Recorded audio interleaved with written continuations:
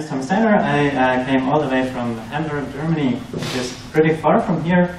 Um, but yeah, I'm really happy to be here. Um, I've worked at Google in Hamburg since uh, well, 2005 when I was an intern. Um, then I was uh, studying in France for a bit. Um, I was a temporary contractor with Google Paris uh, back then. Um, then I was an intern in uh, the Mountain View headquarters. I've uh, been around for a bit, um, yeah, but then finally I ended up working uh, as a full-time uh, employee in the Hamburg office. And um, yeah, did some research on the topic that I'm presenting today. Um, I should say I'm also uh, a PhD student in a university in Barcelona, Spain, which keeps confusing people because it's yet another, yet another location. Um, so I'm a remote student there. Um, I live and work in Hamburg, so don't get confused if uh, my affiliation seems to say Barcelona. I'm a remote student. Um, all right. So today I'm going to talk about um, my thesis topic also. So uh, this is why I chose this very long, very descriptive title. Uh, let's read it together and try to parse it. Enriching unstructured media content. So I tried to get the line breaks right. So about events to enable semi-automated, and then what? Summaries, compilations, and improved search, leveraging social networks. So uh, a lot of interesting things in there, at least uh, if you're uh, semantic, uh, yeah, and social geek like I am. Um, so let's get started. What are events? Events happen all the time. This meetup today is an event. Um, it's a planned event. You had all your uh, email alerts and uh, your calendar entries, and everybody knew that it was happening today. And you RSVP'd, you came, you're here. So this is sort of a planned event, just like uh, the SEMTech conference um, that happened the last couple of days. Um, but then there's things like this tornado in Oklahoma. So probably um, it was way bigger news in this country than in my country, but it made it into our national news as well because it was a terrible event, right? Um, so this is very much unplanned, of course. Um, but still, um, if events happen, people go to their favorite social media networks, um, share photos and images about um, yeah, these events. And um, yeah, as I said, events can be planned or unplanned. Um, another, another event can also be the Arab Spring. So you cannot really tell when it started, you cannot really tell when it stopped. It's just like something that happened in point, um, at, at, any point in time, and you kind of can associate media content with it. So what, what I'm basically saying is, um, when I'm saying event, I have a very open event definition. So it's not like uh, a concert. It can also be a concert where you have a fixed um, know, start date, end date, and so on, end time, and so on. Um, but yeah, also these very vaguely defined events. Um, but yeah, that's the main messaging. Event for me is very uh, flexible. Um, and then, most probably, if you're social on, uh, if you're active on any social network, you may have seen this picture. Um, who has seen this picture before? Okay, so a couple of people here. Um, so this is from um, the Pope election in 2013 and 2005. That's not the whole truth. If you want to know the whole truth, read this Washington Post story. Um, so it was shared with this impression that people thought, well, okay, this is 2005, everyone listening and like no one taking pictures and anything. And then 2013, fast forward, um, people not holding candles, no, people holding up their uh, mobile phones and, uh, and uh, smartphones and uh, in this case even someone dorky holding up an iPad. Um, so yeah, but the thing is, what this image tries to convey is um, our perception of events has changed. Um, now we try to record every moment. Um, what this story tells you, if you read it, this was at a funeral. this, um, so it was some funeral procession, not the Pope, but I don't know. Um, so this was a sad thing. So people tend to behave, at least uh, in Italy. And uh, here um, yeah, it was a happy event, the re-election of the new pope. So, but still, the basic tendency is true. If you look at this image, this one is not fake, actually. This is from the 1990s, this is from the 2010s. Um, people go to concerts, and um, they no longer live the moment, they record the moment, right? So um, here they danced and were just enthusiastic, and here everyone is like, I have to hold my iPad still because if not, the image will be shaky. Um, so yeah, this is 2010. But you get the overall tendency. Um, mobile devices that are capable of recording things are omnipresent at all sorts of events, which is good because it gives people like me food for my research. So my research question is, and again, let's read that one together. Can user customizable media galleries that summarize given events be created solely based on textual and multimedia data from social networks? And uh, the good thing is, if you apply this regular expression, it even fits in a tweet. Um, so this is what, um, yeah, my uh, advisor recommended to me. Try to fit your main research question in a, in a tweet. Uh, I succeeded with uh, by ampersand. Um, but yeah, it, fit in a tweet, and he was happy, I was happy.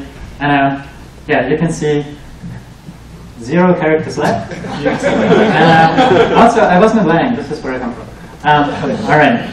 So that's my main research, research question. Um, so event summarization in my context um, is based on social network data in the form of multimedia data, like uh, images and videos. And uh, we have, or I have uh, developed an application, so that's kind of the thesis writing you speak in the royal we. Uh, so when I, when I say we, most of the time it's uh, me, but uh, whatever. So I have developed this application in the context of my research that is capable of generating media galleries, like for this example, um, for the SemTech conference, and um, that yeah tries to summarize um, this given event. Um, in the following, um, I will give you a couple of yeah introductory introductory slides that show you what you need to do if you want to generate a media gallery, and then once I've given you the main overview, I will dive into the different uh, steps that are required. So this is really first a high-level overview. Um, so first, if you want to work with different social networks, you need to have a way to extract multimedia data from social networks. And uh, if you look at the uh, icons up here, it's really all the um, yeah important Western, at least Western social networks um, TwitPic, Facebook, Google+, YouTube, Flickr, MobyPictures, uh, Twitter, Instagram. So a lot of different social networks. And um, you can see here extracted media items stemming from those different um, social networks. If you're interested in um, how we do that or how I do that, um, look at uh, um, citations that I give here. Yes, please? maybe I'm not genius, but I usually heard about Facebook and Twitter. So the first one in the left uh, look like a picture. So what what is that? That next to the Facebook. The, the TwitPic. Sorry, this one? Uh-huh, I never heard of it. Uh, that's uh, that's a media hosting platform called TwitPic. It also has uh, social networking capabilities. Oh. Yeah. I did not know that one. TwitPic.com. Um, it's used a lot um, on Twitter before, at least Twitter had their own photo sharing capabilities. Um, so yeah, that's a company called TwitPic. Um, same for these guys, MobyPicture. Um, it is or was also used a lot on Twitter. And then you can still see people who don't want to use Twitter's media hosting, but use uh, these sort of platforms. Um, but I will talk a bit about uh, the different platforms later. Um, here the message is, um, so if you want to do something with media um, from social networks, you have to retrieve them first. If you want to know how, actually, this is the publication that explains it. Um, and uh, I will circulate the slides around, so don't copy any of this. Um, if you look uh, at my Twitter account, you can get the link to the slides. Um, so later on, at least. Just as a synopsis, do you use the API or do you actually index it? I know, using, using just the public search APIs. So everything I do here is completely public, right? So there's no internal access to any sort of uh, secret data. It's really completely public. Um, all right, so once you have a huge set of, well, it was not huge, but it was big, as you can see here. And once you have a big set of media items, there's typically, at least for very big events, um, like if you think of a, a, huge Madonna concert in a huge stadium where millions of people sit and take photos and images and videos and whatever, um, you have to somehow prune the list and you have to select the interesting things from the boring things. So um, what we did in the next step is we developed a very aggressive um, near duplicate um, clustering algorithm um, that, yeah, as you can see here, is really very aggressive in the sense of um, it tries to figure out um, similar enough, like visually similar enough media items, um, and then clusters them together. Um, this is both true for videos and uh, photos, and uh, especially one case, um, if you have photos that are contained in one scene of a video, um, we also try to cluster that and try to detect that. Typically, moving images are more interesting to look at than still images, so uh, we kind of try to see if we have a certain photo as a video, we try to feature the, the, the video more. Um, and yeah, again, this is very aggressive by design, sometimes even too aggressive in the sense of uh, maybe a human being wouldn't have clustered these together, but um, typically we really have way too much media, media items so that in the end it doesn't really matter. Um, we just want to have um, the similar ones clustered together. All right, so once you've done that, um, you end up with a couple of clusters of similar media items, as you can see here. So you can see maybe here is a sto stroller, stroller, you're not, or it's a bit behind. Um, ones seems to be exactly the same. Um, I don't know, here's tiny differences, but if you look at the icons here, this one was from TwitPic, this one was from Twitter. So sometimes people share one media item on several social networks, or someone uploads a video on YouTube, and then someone else po uh, posts that YouTube video on Facebook. So you can see there's a lot of things that people do with social networks, resharing stuff on different social networks and so on. So um, what I'm interested in is doing something with these clusters of similar media items. And uh, what we did is we uh, developed a, a ranking formula that tries to somehow rank these different clusters and say, this cluster is actually more important than this one. So we put it up front, and uh, the not so interesting one, we put it below. Um, again, this is explained in the publication, but I will also give you more insights in it. Just at the beginning, I give you the overall uh, story so that you have a feeling of what I'm talking about. Um, okay, and then finally, in the fourth step, um, once you have this set of ranked clusters, um, I'm working on somehow compiling these in what I call media gallery, so that you can see something visual that you can look at very quickly and make sense out of it and say, okay, so this were the highlights of, in this case, the Semantic Technology and Business Conference in uh, San Francisco. So the people can really at a glance see, yeah, this is the event. And um, if you're, um, yeah, if you're at an, event, you come home and your partner asks you, how was it? You say, good. That's typically what happens, right? Um, this is in the future what you could show them. So you could say, hey, wait a minute, there's an app for that. You show them, this is how it was. It was good, and look here.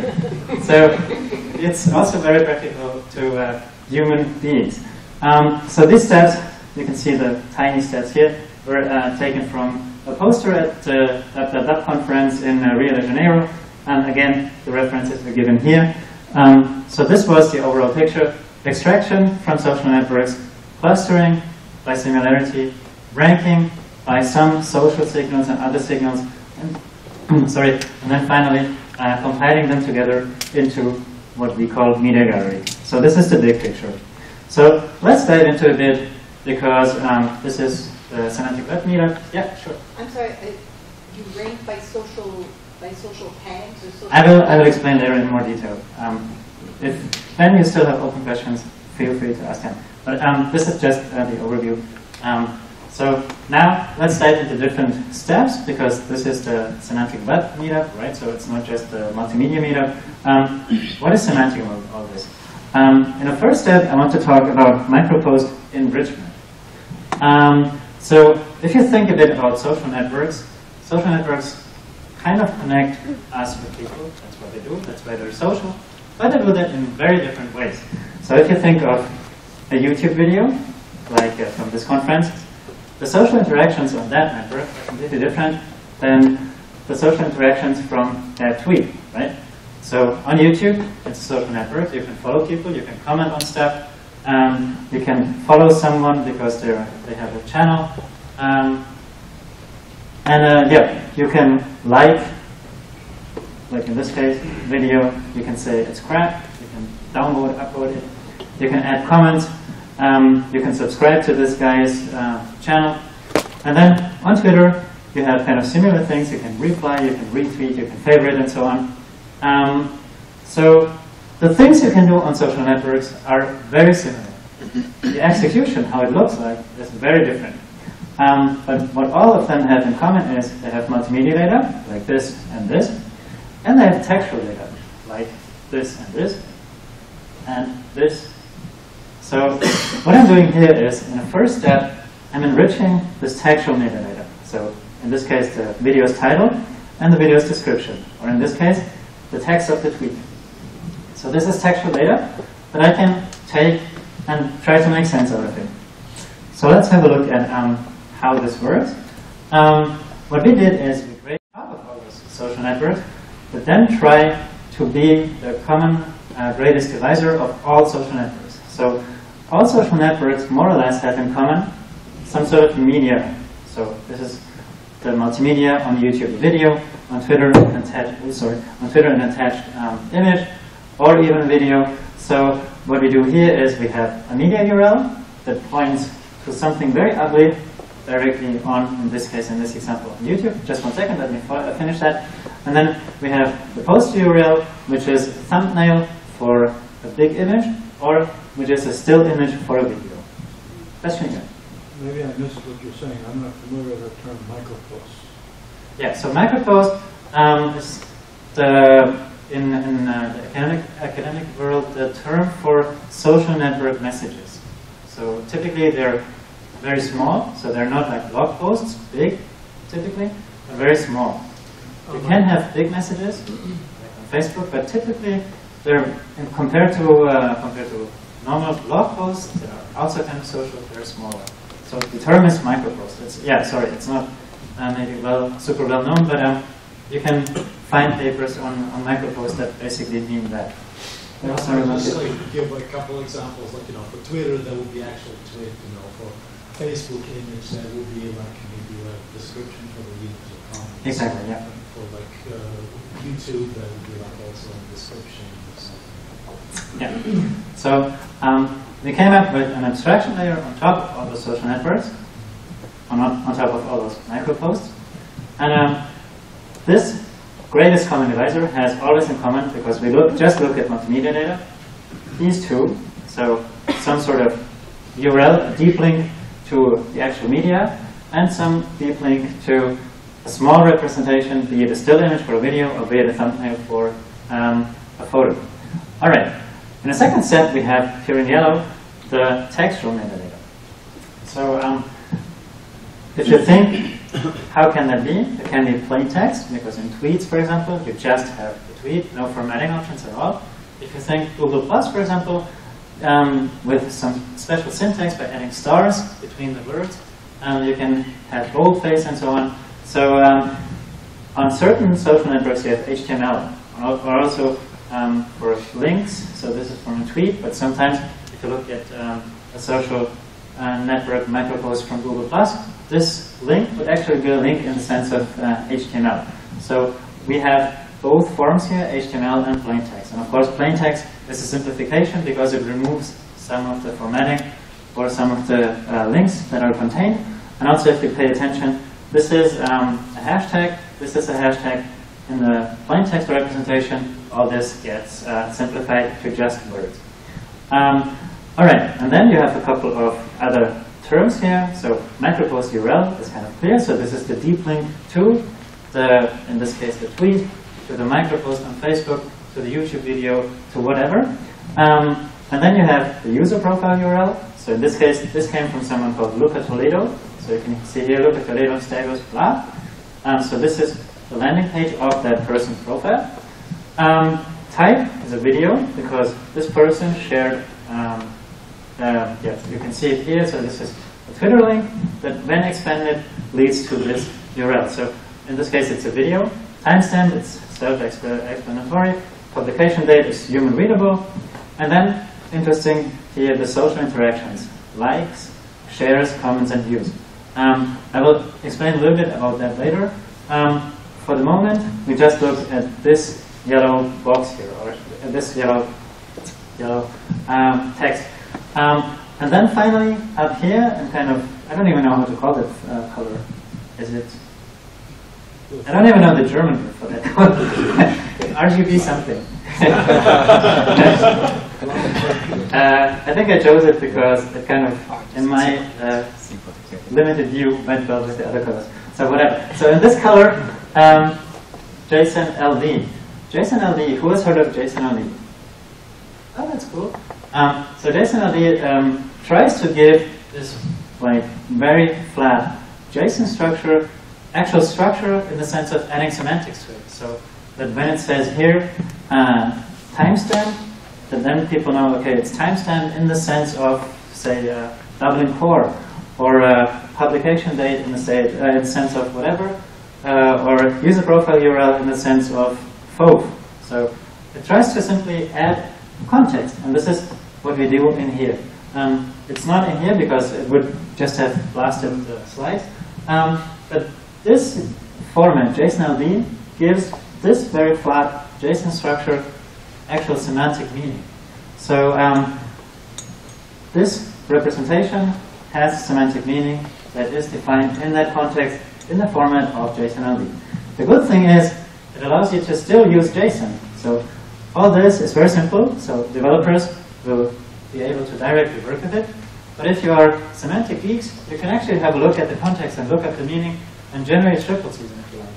Um, but for normal web developers, um, it's this very simple structure. Okay, so this is simplification um, on top of uh, this very semantic JSON structure. So let's have a look at um, the yellow box now. Um, what we do here is um, we enrich this message by trying to make sense out of it. So um, if you have plain text, like in this, in this case, misuse of standardization, www 2013, and DRM, so DRM in the sense of digital rights, rights management, we use a couple of um, named entity extraction and disambiguation services, so namely OpenCalais, Alchemy API, DBpedia Spotlight, Zemanta.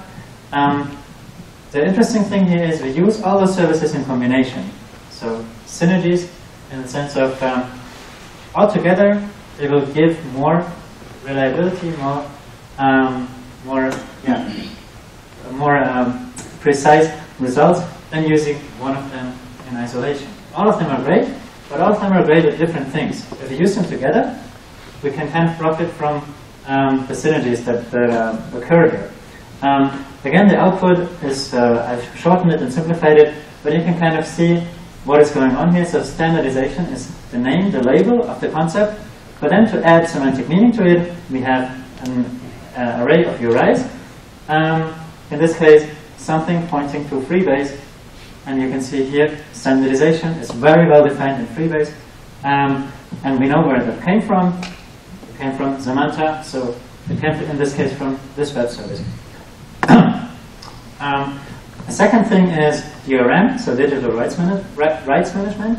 This time we have it as a DBpedia concept, so digital rights management in DBpedia. Oh, the underscores are missing. Um, uh, digital rights management in, uh, in DBpedia. Um, the source that detected that was Spotlight, so DBpedia Spotlight. Um, and um, in the original output that I've shortened here, um, there were several source, uh, sources for different concepts. So with a very simple reconciliation um, algorithm, you can then make sense out of uh, all those different annotations and uh, disambiguations and say, um, maybe we want to introduce uh, a minimum relevance. So you can see for this one, the service is way less sure than for this one. Um, so we could think of all sort of uh, interesting things like having a threshold, only if it's above a certain threshold you consider it or not. Um, but basically the message here is, using these different services, we can make semantic sense out of this message. So saying this um, tweet in this case, yeah, it was a tweet, this, th this tweet is about um, these concepts that are well defined in those knowledge bases that you can see here. What do these more services provide? Sorry? What do these Ah, four what? services provide? Um, so named entity extraction plus disambiguation. So they don't just tell you this is uh, John Doe, the person, which would be named entity extraction, but they also try to make sense out of like what person? Is it John Doe, the John Doe that you know from uh, I don't know the movie X, or is it the John Doe that has uh, I don't know a farmer? Uh, uh, I don't know. Is a farmer next door, right? So So it's a semantic graph. It's- Datatives. um, it's basically mapping strings to things, and things are well defined in several knowledge bases, like in this case Wikipedia, or like in this case Freebase. So if you want to know what actually is meant by standardization, you can look up this URL. You get a representation in uh, RDF, for example, or um, yeah, in, in, uh, in JSON in, in the case of Freebase also, or uh, uh, DBpedia the same. You can also get um, JSON, and then you can really have the full reasoning chain, for example, and say, uh, let's try to understand digital rights management is something in computer science. So you, you have this um, typization for free, so you, you can go up in the categories and see D, uh, DRM is something in computer science, which is something in general science, and so on. So you can have all sorts of uh, advanced analysis on top. Um, so basically, the main message here is um, from strings, like in this case, misuse of standardization, go to things that are well defined in uh, these knowledge bases. Yes, please. Uh, Where did you, how did you calculate the relevance score, or did they? did they- Um, th- this comes back from the services. So each of these services has some sort of uh, returning the relevance. Um, I'm using them all in combination. So um, I have a very simple um, reconciliation service that um, I think uh, simply calculates the average mean um, out of the different services output. Um, if they agree, so if uh, in this case Zemanta and say, for example, Spotlight agreed on the same thing, so saying this is standardization in the in the sense of this, then yeah, simply using the relevant scores in combination. So this is not really rocket science. All the hard work is done by these services, right? I'm just using them, okay? Um, there was uh, she first, I think. Um, How did you handle conflicts? Say uh, standardization meant one thing in, in one service and standardization meant another thing in another service, and each of them were very Yeah. sure about, you know, what it meant. but- Um, if they're both very sure, which rarely happens, um, I simply take the one that is surer. but typically, typically they they, uh, they kind of have like this disagreement in like enough disagreement so that conflicts rarely occur. Um, so if you look at these services in general, it's not so much a problem of um, conflicts in the sense of uh, the thing not really being correct. It's more a sense of more in the sense of um, so let's say you have a tweet from someone saying President Barack Obama's speech yesterday was great. So a named entity that a human being could extract would be, for example, President Barack Obama. Right? This would be one named entity con- uh, consisting out of three words. But a machine could also say, well, president per se is already a concept. So one possible annotation would also be to say it's president as one entity, as defined in the U.S. president, which is in the current ca- uh, concrete case um, Barack Obama. Um, but yeah, it, it's more like these subtle differences where sometimes one service will say it's the whole concept consisting of three separate words, and an- another service saying um, it's actually um, President Barack Obama and Barack Obama in separate. But uh, overall, this doesn't really run you into trouble. And also, one of the things why using four services in combination is um, most of these services, or actually all of these services, I think, are trained for longer, longer um, things like um, news articles, for example. If you throw something very short, like a tweet at them, um, kind of all their optimizations will run, um, yeah, kind of in vain because they don't have enough text to add enough context. Which is also why we as human beings, sometimes when we, when we look at tweets out of complete isolation, just look at one line of tweet, we cannot really make sense out of it. So very often for very short messages, you will have trouble finding um, enough information to really make sense out of it.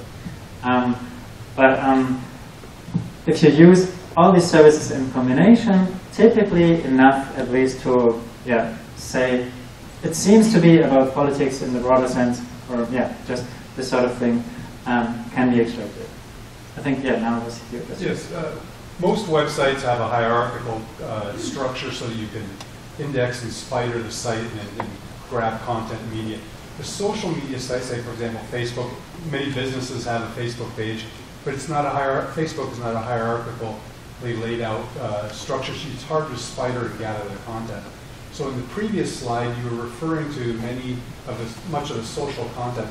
How do you scrape or index or, or the, uh, the social content? Um, so in this case, it's not um, it's not crawling, it's not scraping. It's simply using the public search APIs. So if you know it was an event about um, a Madonna concert, you would use human natural search terms and say Madonna concert to then try to find that event. So it's not really um, a big machine crawling all of social media. No, it's more like reactive, searching for well-known terms that you will know will kind of So you reveal. use Google search engine or say social media search engine? Um, social media search APIs. So uh, it would be a lot more interesting, I would say, um, to really actually crawl social media, but then you run into all sorts of trouble, like legal issues and so on. Um, you don't want to be that guy who runs into that sort of trouble. Um, so that's why I'm using just public search APIs. Um, and then also, Twitter, for example, has the streaming API where they just stream random messages at you and you try to make sense of it. Um, but it's only Twitter. The other social networks don't do that. So um, I'm trying to have this uh, social network agnostic view. So really considering all social networks, which is why I can't use the streaming API, even if it is interesting in isolation. If you try to really have this uh, agnostic view of looking at more than just one social network, which not many people do, by the way. Um, most of the papers are on just Twitter because they have this open, I- open API.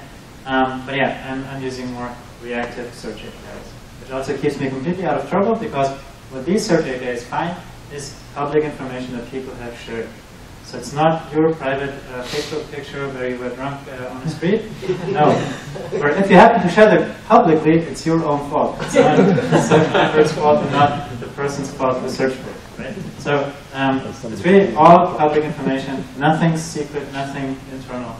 Um, so that's kind of the good news. Um, but of course, if you have internal access to the social networks, you could do a little bit more, maybe. But um, this research that I'm doing is more meant to be, in the broader sense, using social networks just as concepts, not really as V1 Facebook or V1 Google Plus or whatever.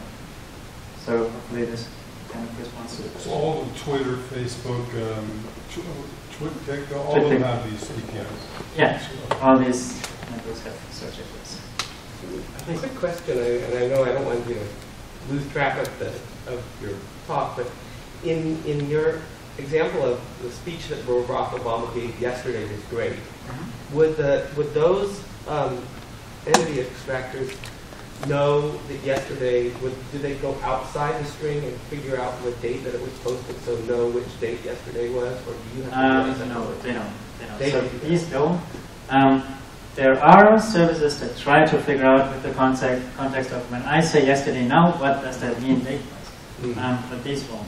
The good thing is, um, it's on the previous slide, all those search APIs give you this. So they tell you exactly when something was posted. So if you were interested in making sense of that, you could do it on, on, based on that. All right. So um, again, all the credit goes to these services. I'm just using these services and kind of reconciling their different output um, to then make sense out of something very short like this. Question here? Well, I was going to ask for more general questions, but let me, let me just mention, that, or maybe I'll say that until later. um, what, for the, for, for this example, um, what would it have taken for a site to come up with a relevance of one? Um, I don't really know because this is a black box, this is a black box. If I were to look into the source code of this one, it wouldn't be a black box, but it didn't, so for me it's a black box, and this is a black box.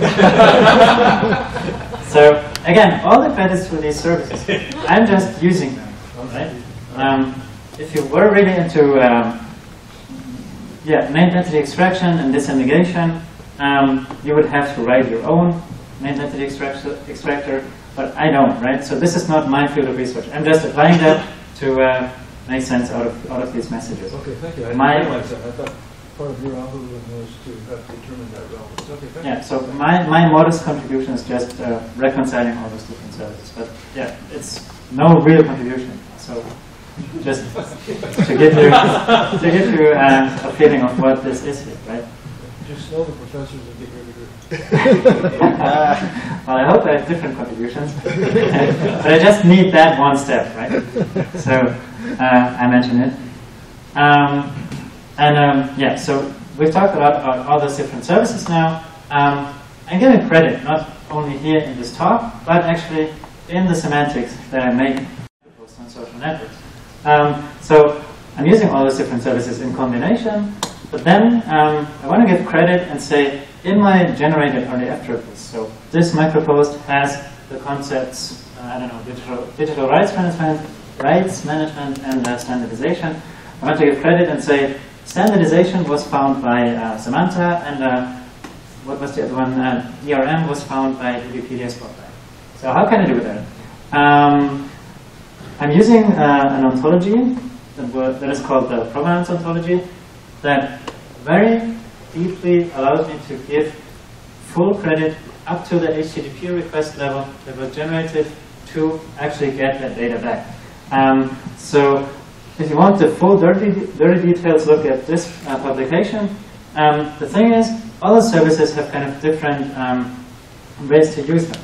So uh, for Wikipedia Spotlight, you can work with a, with a HTTP GET request, where you just uh, paste in uh, to a URL your text and you get back something.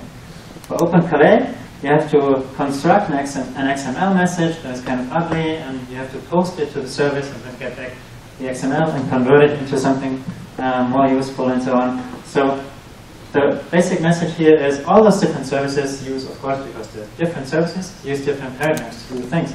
Um, so using um, this provenance ontology, I can say, for this service, this is what I use. These are the potential fine-tuning parameters. So you can say, um, for some services, you can kind of determine the recall and say, um, only return something if you're very sure or not so sure, or I don't know. Um, so you can kind of set filters. Um, so that then, if you were to look at uh, the generated RDF in this case, that you then could completely reproduce the HTTP messages that were made to get um, the annotation back. If you look at um, the generated uh, RDF, it's really, so let me go one slide back. It's not short like that one. This is just a simplified, simplified JSON representation where credit is given at this um, very low level, um, where you lose all the semantic information of the HTTP request. Um, it's a quite complex, long list of triples that is not very practicable, but still, um, in this paper we went through the uh, thought exercise of actually doing that. Um, it's not practicable, but we did it just to show it's possible, um, and uh, it's very important. So this is just a, an over, overview of that uh, provenance ontology. It is possible to use ontologies to really track back um, different web services used in combination and uh, give credit to the original sources. Um, all right, so this is the first step of making sense out of textual metadata. So now up to the second step, deduplicating media items. So remember those two uh, photos that were quite similar with the faces on the street on Times Square. So this was New York Times Square, by the way. Um, so for that, we need kittens, and we need pieces of kittens. so this is the whole image. This is a smaller piece of the image. This is another piece of the image. The good thing is it's still the same kitten, and it's not killed. It's still alive, even if you crop it. Um, but what do we do here? So what we actually do here is um, we take one image, kitten.jpg, and we crop it, but not physically by creating a new resource. but we crop it by saying we add some hash fragment here, x, y, w, h, so x, y for the points, and then width and height, and say from the whole kitten image, take, I don't know, a, a rectangle, in this case a square, 50, 50, at points uh, 100x, 100y, 50, 50, this one square, right? So what we do here is generate a so-called media fragment, so part of the whole thing. Um, we will see why we need that later on. Um, media fragments and uh, the format that I'm using here is not something that um, yeah I just pulled out of my head and used it. Now it's well defined in W3C spec um, where I have collabor collabor collaborated on. That is called the media fragments URI specification. So um, in order to do this sort of uh, kitten cropping, you can use this sort of syntax and uh, it's actually hopefully landing soon in web browsers. So that actually in a web browser you could have an image um, tag just like that and then see not this result, but actually see the smaller results, the cropped results, just by using this sort of uh, media fragment um, annotation. Um, right now this is not um, in browsers yet, but um, I have developed a polyfill that actually allows you to um, just include a library and then use this sort of syntax to um, crop kittens. So why the hell do we need that? Let's go to the next slide to find out. Um, so, as I said before, media fragments are not new resources, but they're fragments of existing resources. Um, so, when we compare images, like in this case, this image, you can see they're different. Uh, so, you can see, for example, the green fog here is not represented here. Um, I don't know, this lady is more enthusiastic here than there, or vice versa, I don't know. Um, so you can see this light is off, uh, sorry, this light is on, and here this light is off. Um, but obviously these are from the same scene, taken probably by the same person, just at short um, uh, distances of time.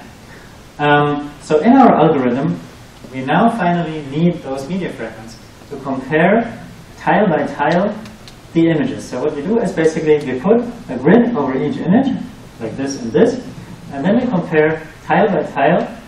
Are those images, are, those media fragments, so are those tiles, essentially, different, or are they more or less the same? So therefore we calculate um, the average histogram values per, um, per tile, and then very simply compare tile by tile, how about um, the similarity between them. And if they're above a certain threshold, we say they're uh, different. If they're below a certain threshold, we say they're still similar enough.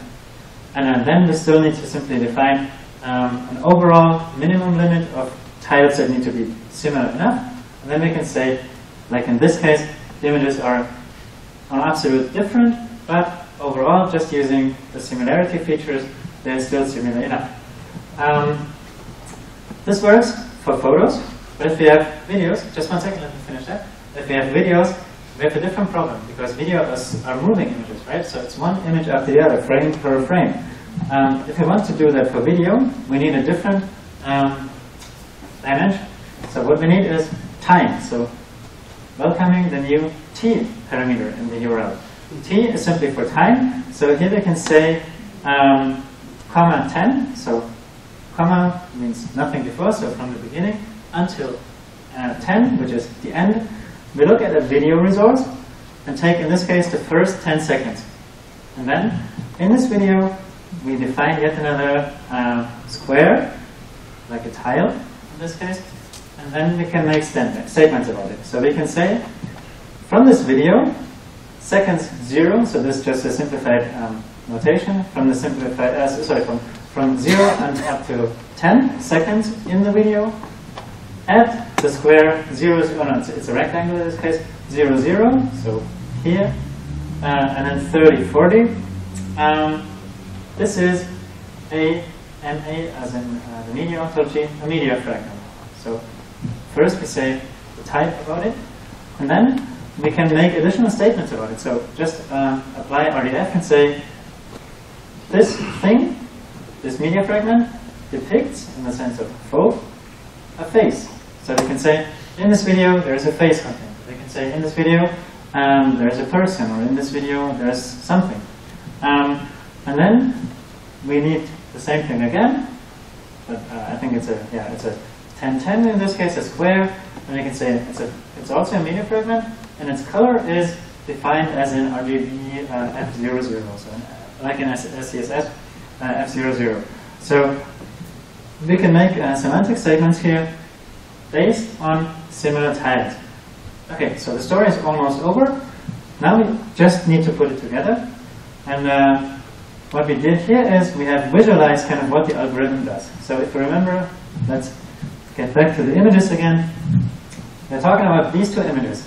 So the differences are mainly this green fog, this green fog, maybe this lady that moves on and so on. So slightly different things. And what we have done here is um, we have in this, in these two images, the tiles that are similar, and below the tiles are different. And you can clearly see this is the green fog that was up here, and this is the, this is left and this is right, of course. So here it's black, here it's green. So let's go back again to see that again. Here it's black, here it's green. So you can really see what the algorithm does. Um, and why did I say contains a face? So let's go back again, sorry. Uh, why did I say here contains a face or depicts a face? Because the algorithm does, on the one hand, this very low level pixel analysis, like looking at the average histogram of a certain tile, um, but also tries to detect faces in the image and then tries to match the number of faces. So if the number of fa faces is the same on left and right hand side, um, it's probably the same um, image or video. Um, all right, and what you maybe can't see here is some of the slides have this checkerboard um, pattern. So why is that? Um, if you look at, so it's basically the whole row here below. So let's have a look at the actual images again. You can see everything here is almost completely dark. Why is it dark? Well, because it was night. But if you have a video, and um, remember how videos typically look like, they're 16, 16 by 9. So typically in uh, old TVs that don't have the format of uh, new TVs, you have the black bar at the beginning, black bar at the, uh, black bar at the top, and black bar at the bottom. So um, very typically with social media, when you have these sort of things, complete black and complete white are not very useful. Complete black because of videos, complete white. Anyone have an idea why complete white is typically typically not useful? I think social media. Contrast, yeah, yeah. But um, like think of what people share on social media. It's really hard. It's really Screenshots, bingo. So very, very oftentimes, and more often than people think, people look at Twitter, people see, uh, I don't know, things I said to my girlfriend to get her in bed. So people take a screenshot of that and say, why the hell would someone, would this be trending on Twitter? And this happens more often than you think. So people taking screenshots of um, applications, like in this case the, the, Twitter website, for example, and asking, why the hell is that happening? So it, it happens often enough to, for this um, application algorithm that is really tailored to social, ne social network data, to say if you, if you see pure, pure white, which is what you typically see on web pages, besides the text, of course, um, then simply don't consider it. So this is what the algorithm does. Um, it doesn't consider in this in this case the checkerboard tiles that are simply too black. So this one is like not really super black, but everything else is almost complete black. Um, so it took a lot of uh, fine tuning to get that one right. Um, but it's an algorithm that is really tailored to the kind of information that you encounter on social networks. Um, so what we did then is, in order, I will, I will uh, take questions in just a second. Um, what we did then is, um, when we had this algorithm and we tested it with real, real users, people were like, yeah, but why is that together? Or why is that not together? Or why are they clustered and why are uh, those two not clustered? Um, so we needed some way um, to tell the human readers why a certain set of images would be, or videos would be clustered together and others wouldn't. Um, I'll tell you how we did that in just a second. I take questions. So I think someone here and someone here. I think it might be related. If you have a, a, hundred images that you're trying to kind of cluster, do you all have one base image that you compare across all the other ninety-nine? Or is it some other way that you can randomly take images? Exactly, yeah. So it's, um, it's more or less k-means. So you start with a random image, and then you try to find um, a set of images that is similar enough compared to that one. And over here, yeah, yeah. Yeah, uh, so, so basically, uh, you know, did you compare your, uh, your algorithm versus the classic s- the family, you know, based on similarity, you know, comparison algorithms? Uh, uh, something like, that, you know, for this uh, deduplication, uh, the images are, you know, quite similar, so, you know, people use, uh, you know, the features to, to compare the, you know, uh, the image contents. Right? Uh, okay, uh, so it doesn't look at the image content. So it doesn't try to really understand the semantic sense what is in the image or who is in the image. Um, it really is a, a low-level algorithm that just looks at the pixel contents. It's mainly because it needed to be fast. It needs to be applied more or less in real time. So object detection, first, it's not my field. I don't know how to do that. And, uh, but then also it needs to be fast. So it does not do object detection. There are, of course, some algorithms that do that, like uh, if you do uh, SIFT, uh, you can at least see similar patterns that occur in both images. Um, but uh, yeah, in this case, it's completely not that. So it's a very simple algorithm that is designed to be super fast, designed to be kind of maybe even too aggressive sometimes, but it tries to do its job well, and the job is simply uh, condensing this big amount of media data to something more manageable that human beings are willing to consume in a considerable amount of time. Uh, I think some, yeah, that was an idea. Uh, do you handle different aspect ratios or different, slightly different angle on the image? So like would you like search and skew it slightly? Um, yes, so, but really, again, very low tech again, by having thresholds of the number of slide, uh, of, of tiles that need to be the same. So that if you have a scene that is like that and then a little bit shifted, um, still the, um, the tiles that are not shifted would be the same. So it's really very low tech, designed to be super fast. Um, all right, so now the human reader started asking, but why are those two images not, not clustered together? So what we did is um, we published a paper, and I'm very proud of that uh, title. Tell me why? Ain't nothing but a mistake. Tell me why. so um, describing media item differences with media fragments you write and speech synthesis. So we actually worked uh, on, on, a, on a speech synthesizer that would uh, describe to human beings why certain images are different based on well-defined criteria. Um, it uses an open source uh, speech synthesizer in uh, pure JavaScript. Uh, so open source by someone whose name on GitHub is Kripken. Um, Speak.js. Um, and this guy in turn has uh, converted uh, speech synthesizer from, I think, C into JavaScript. Um, and this one is called eSpeak. So it's a well-known uh, speech synthesizer um, converted into JavaScript. The good thing is, if it's JavaScript, it runs into the browser. And um, so, in this case, let's have a look at what human readers would hear if they uh, wondered why those, why those two images are clustered together. Um, so it's a very, short screencast. Um, let me simply put the mic close to the speakers and start the video.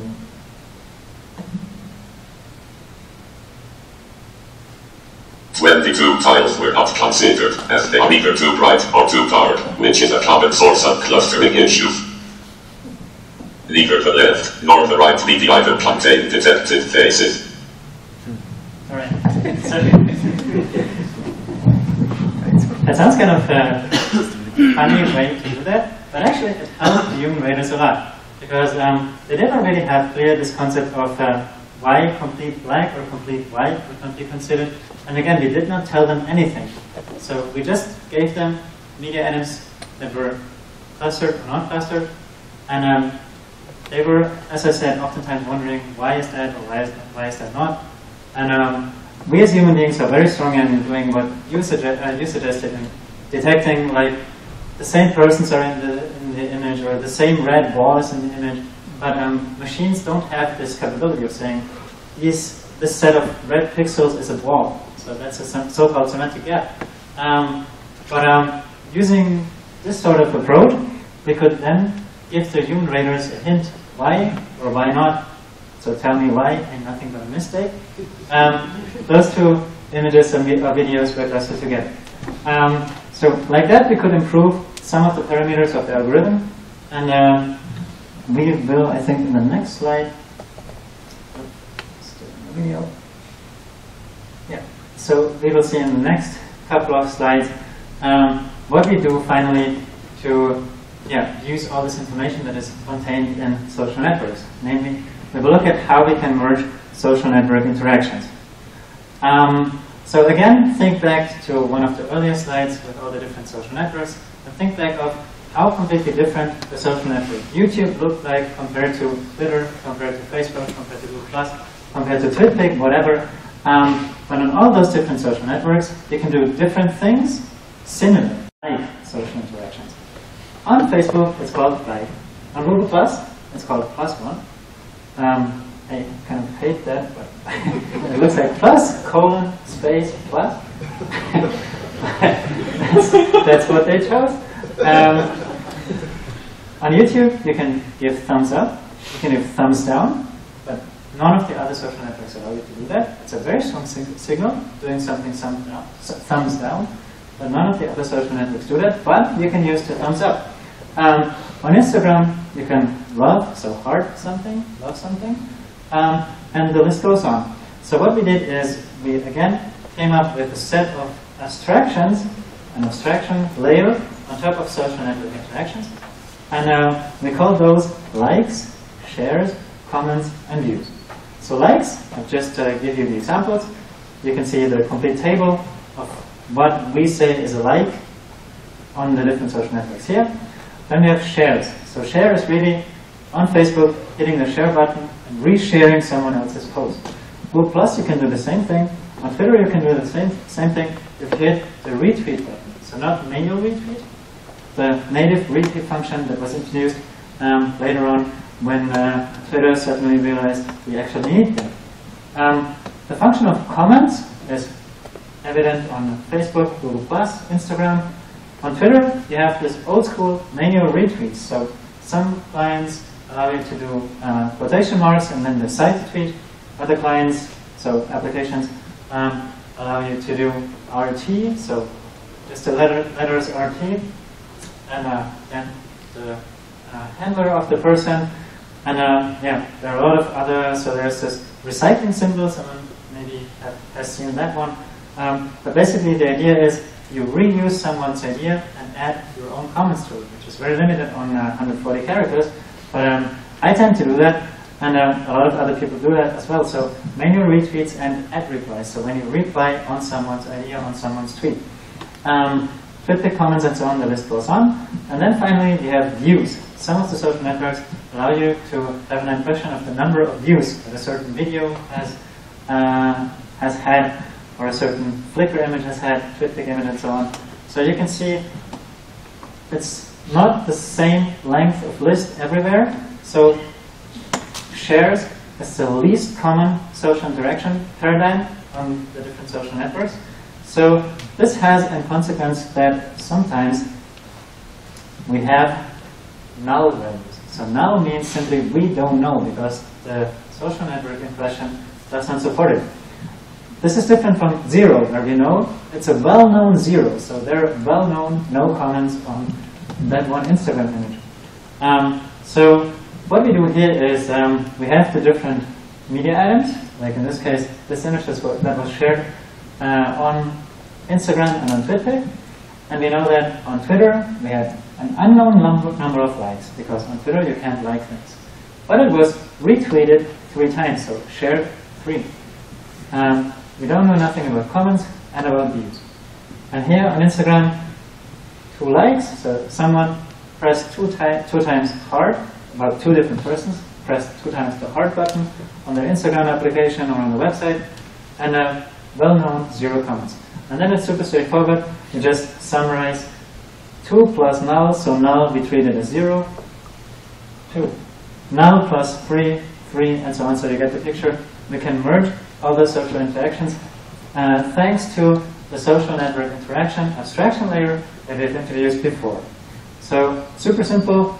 Now we have for each cluster, so this is a very small cluster of course, but typically these clusters have four, five, six, seven media items in them, and um, then all those numbers add up to something meaningful. So you can then make statements about the whole cluster and use this in the next step to finally rank all the different clusters, right? So this is what we wanted to do.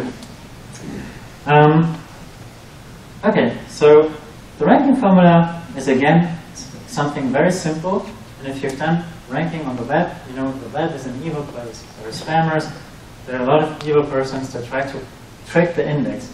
Social media is less hostile, so for the moment at least, something very simple works. Like in this case, alpha times likes, beta times shares, gamma times comments, delta times views, and so on. And uh, then below you have epsilon times cluster size, recency, and uh, quality. So let's dive into all those different parameters. Um, so here is the uh, examples again, and here this is a good example. You have a screenshot of an application, screenshot of Twitter. You have the black bars here, but still they're similar enough to, similar enough to be clustered together. And then, so this someone took, I think this is a slide. So someone in the audience took um, an image of the projection, projection, and you can see it's kind of similar, but it's not the same. But typically, all those images are different enough, as sorry, similar enough that they convey that they convey still the same idea. So probably this was something interesting from the talk. Um, but yeah, you can see it's basically the same image, and here you can see a um, keynote, a keynote scene um, two times and so on. Um, so let's have a look at the two lines of um, the ranking formula. We have yellow and we have green. yellow are of course the social interaction uh, features that we've introduced before. So that's very straightforward. And uh, then below in green we have more or less different signals also like cluster size, recency, and quality. Quality, let's start with quality. Quality is, of course, um, somewhat an abstract concept, but if you think of what makes a good image, typically an image in higher resolution will be better than an image in lower resolution. Um, an image of a higher file size, typically, uh, bigger file size, typically will be better than an image of lower file size, and so on. So here you can have very simple, um, yeah, kind of heuristics to determine which of these images is of bigger quality, uh, of higher higher quality. And remember, they're all in one cluster visually similar, so you can really reduce yourself to looking at the low-level signals to get a good feeling of an image's quality. Recency is very simple because we just look at the age of the timestamp when a certain video or uh, image was published. And in one cluster, you of course take the youngest one to get a feeling of the recency of the whole cluster. And then cluster size, what is cluster size? Um, very simple, if you go one slide back, Cluster size here is 1, 2, 3. Cluster size here is 1, 2, 3. Here it's 2, and here it's 1. So this kind of gives you a feeling of how popular is a certain media item that is similar to others on social networks in general. So you can see here, this one was only shared on Instagram. This one was shared on Instagram and on Twitter. And uh, here it's YouTube, Twitter, Twitter, right? So um, cluster size kind of gives you a feeling of cross-network popularity of a certain media item or, uh, yeah. So then we uh, took this ranking formula and applied it. These are the values that you have to put in for the Greek letters to get reasonable results. But uh, again, it's a ranking, so rankings are really hard to uh, evaluate. So take these values with a grain of salt. In the application that I will show you later on, they're, uh, they're flexible, so you can change them and see practically how the changed ranking would look like. Um, okay, so this very simple ranking, ranking formula works. All right, so finally almost to the implementation details. How is this realized? It's basically a client-side web application with a very limited Node.js backend. So again, it's meant to be something that is really running on the web, no complex application that needs no low-level access to, uh, I don't know, um, certain Windows features. No, it's meant to be something that runs on the web so that really it can be deployed easily and that people can actually use it. Um, it uses um, Node.js. Why is that? Because of all those different events that happen. Um, an image arrives, an image gets annotated, um, an image gets uh, flip, uh, split into tiles. The tiles get um, uh, the, the, the average histogram of the tiles gets uh, gets calculated and so on. So a lot of events that happen asynchronously, and then Node.js is really great at uh, dealing with that. Um, so whenever an event happens, Node.js um, just takes care of the whole thing without blocking the main uh, execution thread. Um, okay, and then where is what uh, component? Media and retrieval, so taking the images from the social networks, and then entity extraction is on the server. Everything else is on the client. So everything else is really running on your browser locally. And this includes face detection, which can be kind of uh, sketchy sometimes, uh, clustering, ranking, and so on. The application a bit later. We have one final step to go. Now we have this ranked set of, me, uh, of uh, clusters. Um, take the question now. So uh, how did you guys do the face detection on the client side? Did you guys convert OpenCV to, to JavaScript? Uh, not we, but uh, someone else was uh, doing that. Um, yeah, so there's this uh, library Emscripten that allows you to Yeah, right, right. take uh, C code, more or less, or LLVM code, and compile that into JavaScript. So someone has, already did that. yeah, someone has, has done that and taken OpenCV and converted it to JavaScript, which then allows us to, yeah, with a very easy API, do face detection in the browser. Yeah. Um, all right, so now we have this set of ranked clusters. So now all that needs to be done is uh, compile them and make them beautiful, make them useful, make them aesthetically pleasing, make them even entertaining so that someone um, who just wants to get a feeling of the event could um, go out, use their browser to, yeah, just browse um, a media gallery. Okay, so media gallery generation is more complex than you may think. So Probably if you are on uh, a social network and you have looked at your photos section, you've seen something similar to that. One big image, four small ones. One big image, two small ones. One big image, four small ones, and so on. And then you can see here, two small ones, two small ones. So you get kind of this um, grid of the different images that are composed by four small ones or three small ones, sometimes even, um, and so on. What is the obvious problem of that? You need to have all images in the same um, uh, aspect ratio. So cropping is required, which sometimes works quite well. So in this case, if you didn't know the image, or in this case even, if you didn't know the original image, you would say, that's perfect, that's cool. But then sometimes you have this image, this type of, type of images. So you can clearly see, oh, ouch, something's missing. Or this one here, uh, something is obviously missing. But in most of the cases, cropping works decently well. And remember, we know where the faces are, so at least we can try not to crop the faces. Sometimes you run into difficulties, into conflicts, when you have an image where two persons here, then nothing, then one person there. So where do you crop them? At some point, you need to say, okay, so maybe we take those two guys and get rid of this guy, or you try to somehow get this one and the one over there, but then you don't get them entirely, so you get them half only. So you can kind of see it's a hard problem. And um, this is also hard problem, because for doing this, you have to know that, oh, actually there's text, written text in the image. So you have to do OCR, optical character recognition, which is also hard. Um, so you can see already there is no such thing as the optimal cropping algorithm. There's only, for example, one good one for a certain set of um, image categories, like screenshots. Never ever cut, uh, crop screenshots, for example, because you will lose the whole context. This could be heuristic. If you have faces, try to maximize the number of still uh, alive faces after cropping. Um, so you can see it's an evil world out there, And uh, cropping images is not a solved problem in the sense of social media, because social media has a lot of different image formats. I will show you on the next slide what is uh, a problem. But then what is good about that, people look at it, and they start typically, so maybe, can I ask you, what was the first image that you saw on this one? The big one. The big one? Right. You? Remember the thing with the text in the middle bottom? This one? Yeah. Okay. So you can see already by two examples, it's different what people started looking at first.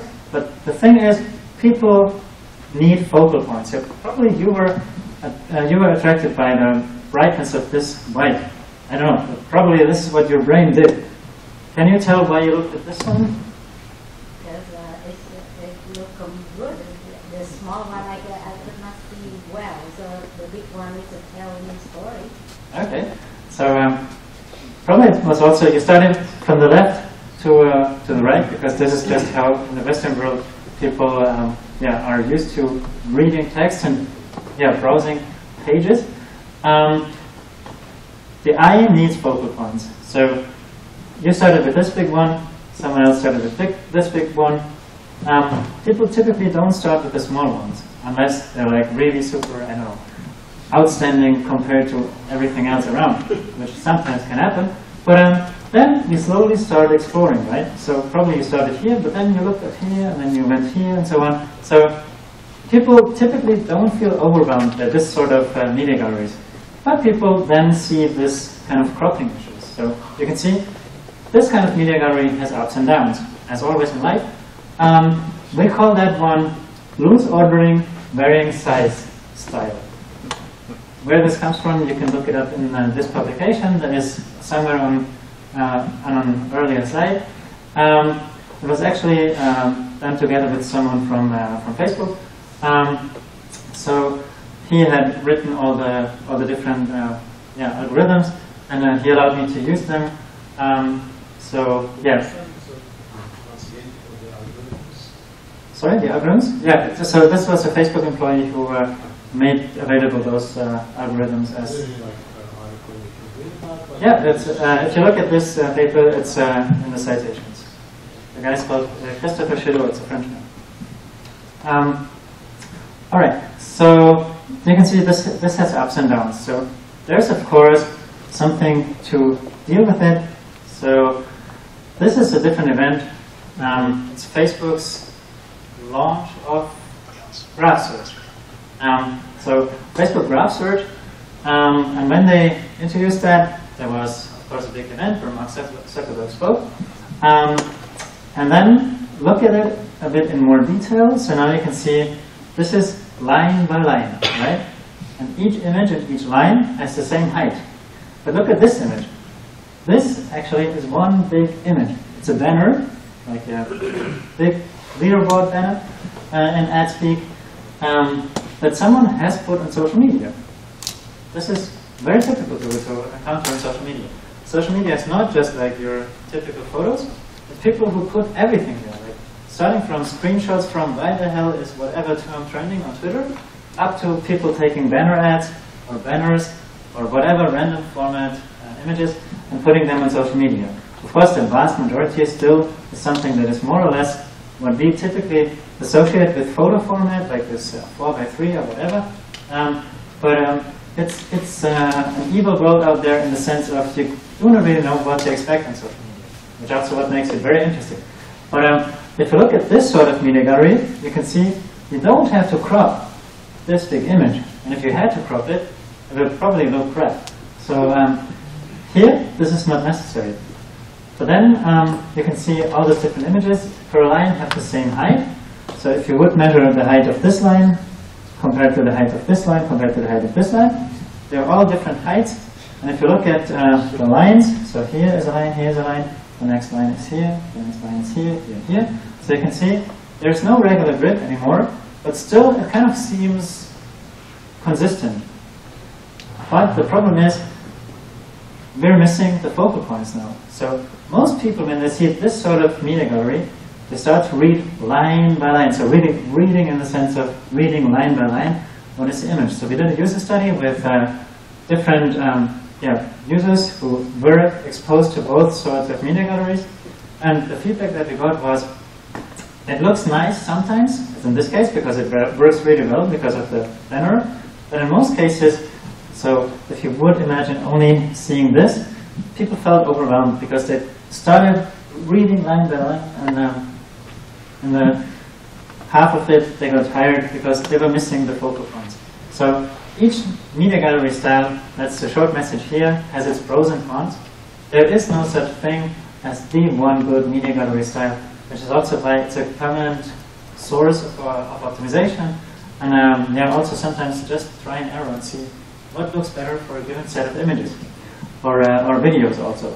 Um, so yeah, there's pros and cons, but um, the good thing is we can add interactivity. So it's not just printed media gallery that you put, just one second, that you put in a newspaper.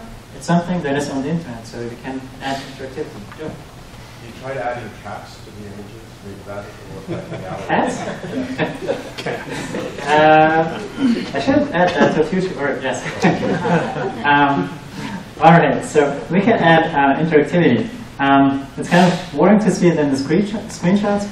I will hopefully show that in a live demo more. This guy is actually here, and then you can see this one zooms out instead. Um, the good thing here is um, everything else, so I think I have that on the next slide in a bigger way. Yeah, everything else gets faded out, gets kind of blurred, so that you put the full focus, the full concentration on just one media item. It can be one video that you feature full screen, uh, not, sorry, not full screen, but uh, in this exclusive view. Um, or it can be, as in this case, um, this image of um, yeah, this uh, person that wears uh, the mask here um, from the Occupy movement. So this is, uh, by the way, from the Occupy Gezi movement in, uh, in Turkey now. Um, so with this sort of additional feature, we can add interactivity, we can add some way of interactively browsing the media gallery um, so that you still have focal points, but still you also don't get overwhelmed because you can simply line, uh, sorry, item by item browse them through. Um, so this is research. So in research you have to have related work, and there is, thank God, a lot of related work in that field. Um, so what are others trying to do? Um, there are different now commercially and uh, also academical uh, companies um, that are trying to do more or less what I'm doing here, but with different focuses. So I'm really trying to summarize. What most of these um, applications out there do is they try to archive. Um, so there are three, uh, at least, probably even more, commercial companies, Eventifier, Mahaya, with a product called Seen, and uh, Storify, that try to archive and try to, um, yeah, in some, to some extent, to summarize events. And uh, there's also academic uh, research going on. So guys from uh, the University of France that I've uh, collaborated also with, um, they have implemented Media Finder, where you can see a screenshot here. So you can see it tries to cluster by different clusterization um, signals. Um, this one is uh, Eventifier, where you can see, yeah, they have this sort of uh, media gallery that we've seen before, but they have also tweets and videos and so on.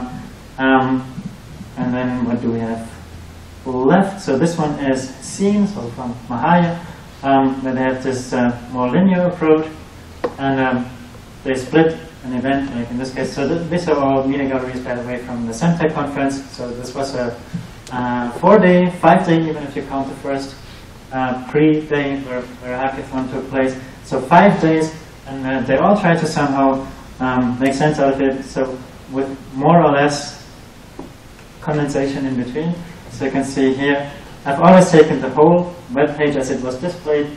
So here you have pagination. I'm not sure if you can see that. It's probably below the fold. So here they had pagination. So you could go page by page. Those guys have everything on one page. And those guys, so this is Storify, have really everything in one long stream.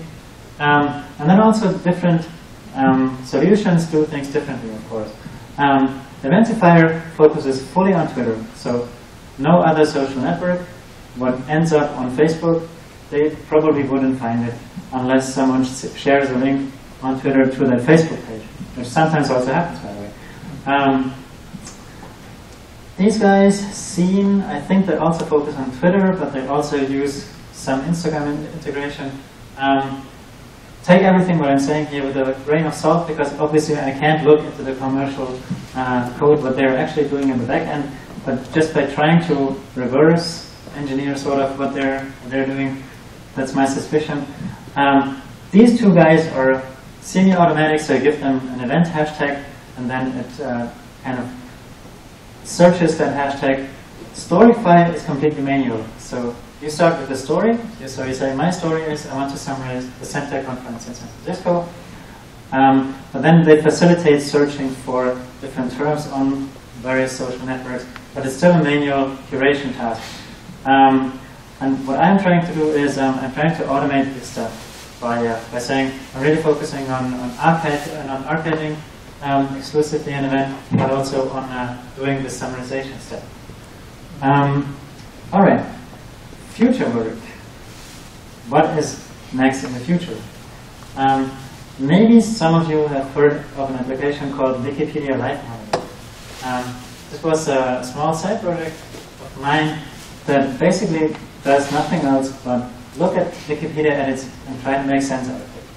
Um, it does that surprisingly well. So Wikipedia has an IRC channel where whenever any of the articles on Wikipedia, and there are a lot of articles and a lot of languages in Wikipedia get, um, get edited, um, they send out an IRC message. I have written um, an application that tries to make sense out of those edits. Whenever an interesting edit happens, I try to clusterize to make sense out of it. Um, I will maybe show this application a bit later. Um, this is a screenshot from the day of the, um, what is the word in English? Uh, a new uh, king gets, we say crown? Coronation. Coronation, thank you. Of the coronation of the new king of the Netherlands. And the two breaking news candidates, as I call them, were the Queen Maxima of the Netherlands and uh, the King Alexander of the Ne- Netherlands. And it worked for all some, uh, sort of things. So this system also detected the Boston bombings. Not before they happened, but very shortly after. Sorry. Uh, so yeah, it works really surprisingly well. So this is, in a certain sense, event detection based on Wikipedia. Um, what I'm imagining is um, having this one system running, and then adding the media gallery generation step, and then basically just bringing these two together, so that you get breaking news candidates. So Wikipedia tells you some concept around the Queen Maxima of the Netherlands. Seems to be interesting at the moment.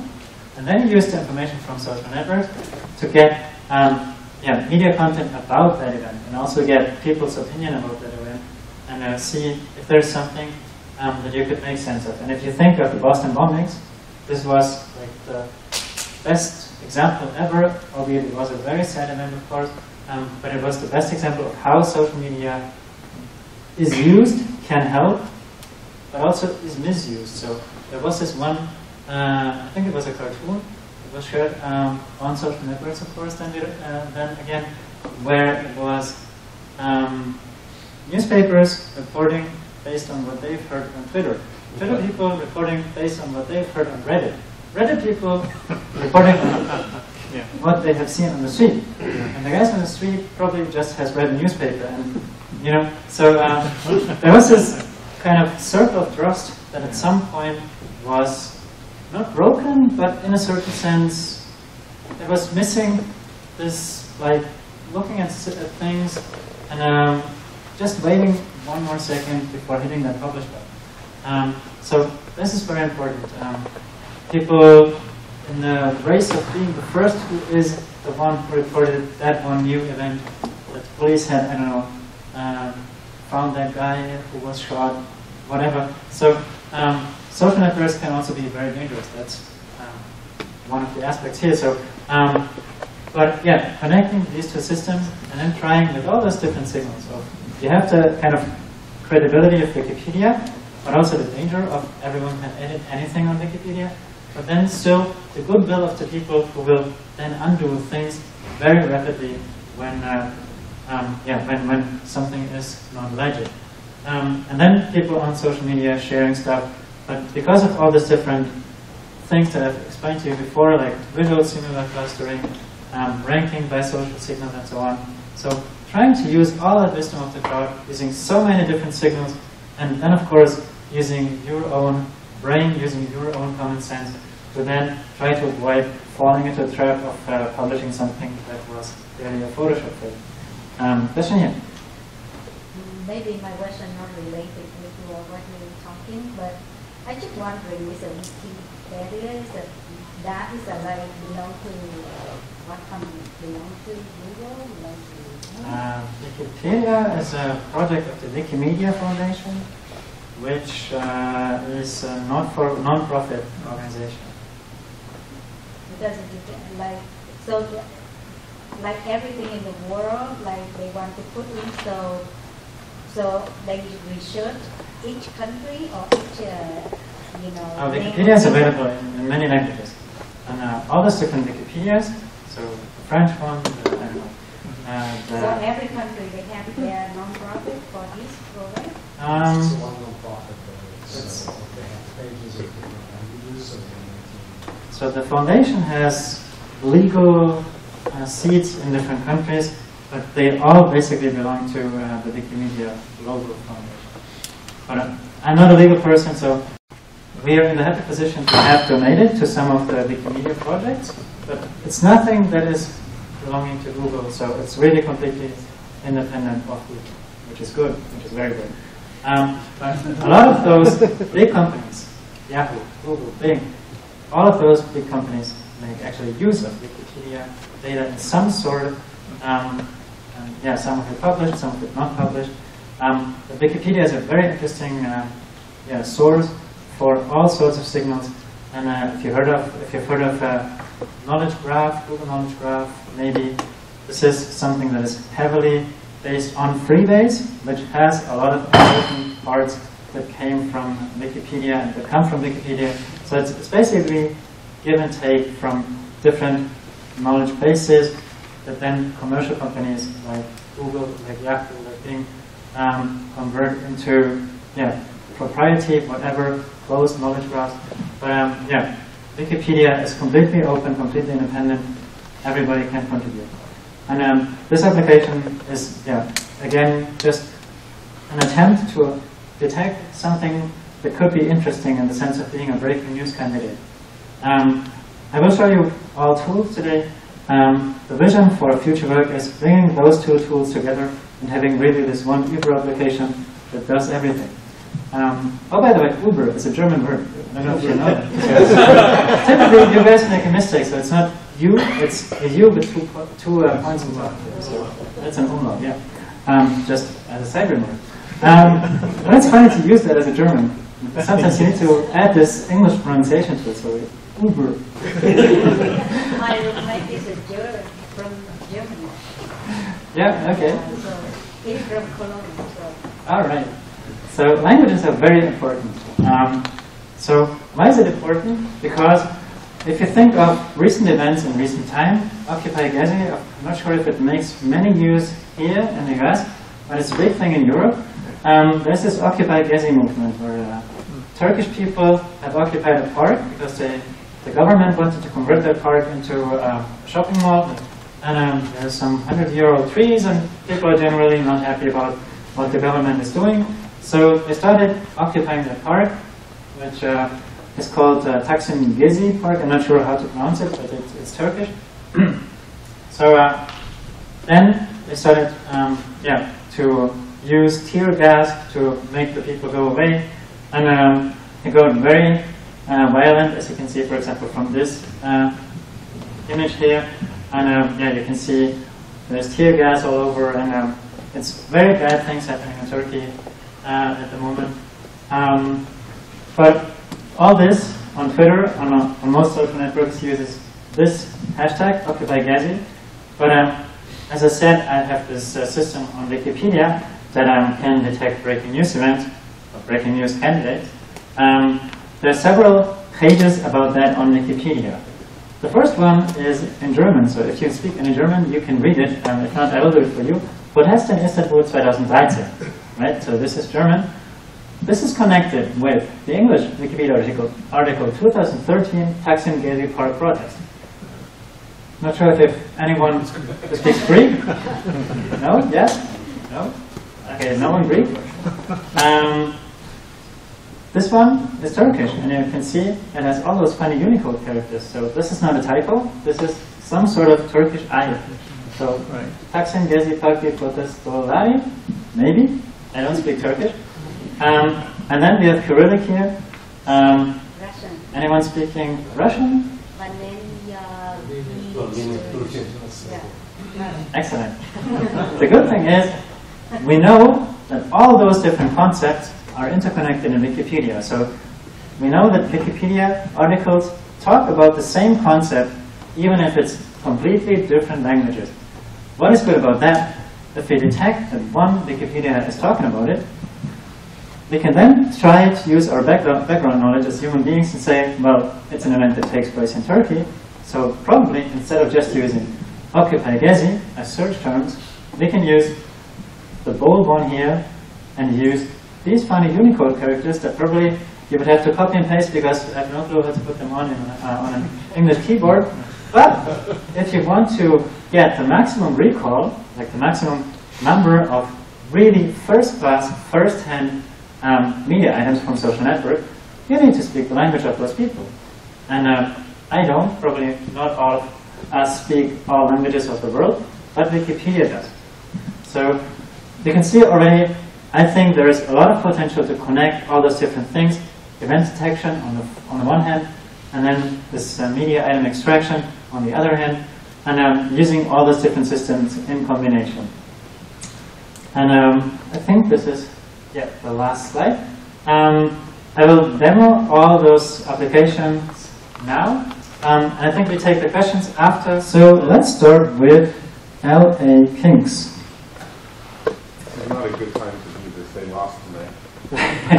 lost tonight? So last minute check, there was two one Spoiler for- So yeah, you can see up there in the upper right corner, and there's some sort of activity um, signaling thing. And uh, hopefully if the Wi-Fi is fast enough, yeah, it receives some results at least. And now it's downloading all the different media items. And uh, hopefully, if it finishes successfully, we will see some media items below them. So meanwhile, I can give you a little bit of a back- background. So this is for the similarity matching. So you can kind of set the thresholds for how similar and how different certain tiles may be or may not be. And uh, then we got first results. And here on the right-hand side, this is for the ranking. So you can kind of fine-tune the weights for the different signals. So likes, shares, and so on. Um, and then let's have a quick look at what we got back here. Um, the screen res- resolution is very low, um, but we have a couple of different media items um, on this event. And uh, if you look at um, the different, uh, different different symbols here, we have all the social networks. So Instagram, Flickr, Flickr, Flickr. Sorry. uh, I saw Facebook before. Facebook, uh, Facebook, Facebook, Facebook. Instagram. Instagram again. Uh, yeah, so a lot of different social networks. Um, but this is one term. The next term is, of course, the other team, the Blackhawks. So I want to get an, a general feeling of this event. So now we can simply add Blackhawks. Blackhawks, yeah, correct. Um, so you see already what I'm doing here is I'm generating a search um, bundle, sort of. So different search terms that are related to the same event. Um, so let's wait until this finishes so you can see, well, there's a lot of things going on. And, and, and, and, and, and, and. How does it know you're not talking about helicopters or something? Sorry? When you It's put black helicopter. How do you, how does it know you're not talking about helicopters? It doesn't. Birds. It doesn't. Um, The one-day maximum rain age will change. um, So if you look at the, the range that you're looking at, it's like whatever was hot. So if all of a sudden you did the Blackhawk down yesterday, that would come up. That's where that's where the human being comes into place. So this application tries to uh, facilitate um, the retrieval and the ranking. And um, here, what you can do is we can limit the, the recency. So again, um, so funny enough, today I learned that here in LA there was some sort of uh, counter-terror, whatever, training. So probably today we even had Blackhawks in town, which I found scary. But, Actually, Obama's coming tomorrow. oh really? Oh man, an MV. Okay. Hey, have you heard about the LAPD spe- um, history?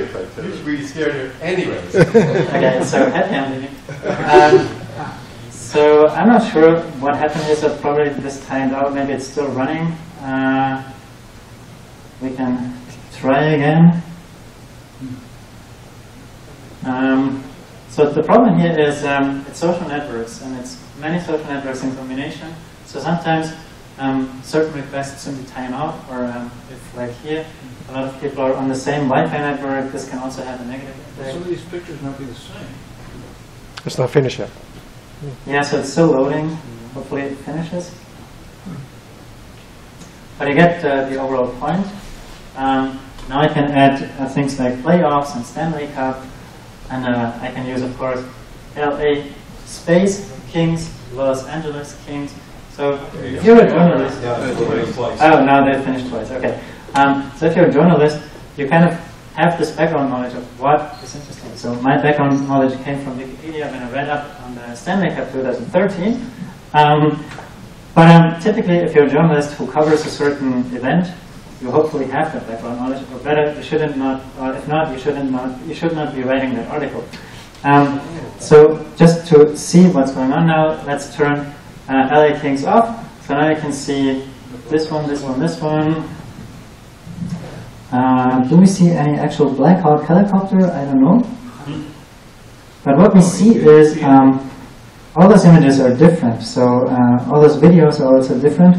There's, oh, look for example here, this is a screenshot, right? So this one here, someone, for some reason, adding a screenshot of that game. There's going to be more social media about hockey than there is going to be about helicopters, probably. Yeah, so when did the game start? I think it was like, Seven o'clock. so now it's, okay, so let's say maybe, oops. I can say five hours ago, so you can see this changes interactively. We can add this one, and let's do one last thing. Let's add the Stanley Cup, and try searching for it. Meanwhile, I can tell you, um, some of the images and videos have a red bar here. This happens when the face detector has detected faces. So probably these two persons were detected here. Meanwhile, this is, of course, for us human beings, it's very clear it's faces, but for the algorithm, they were just too small. Question?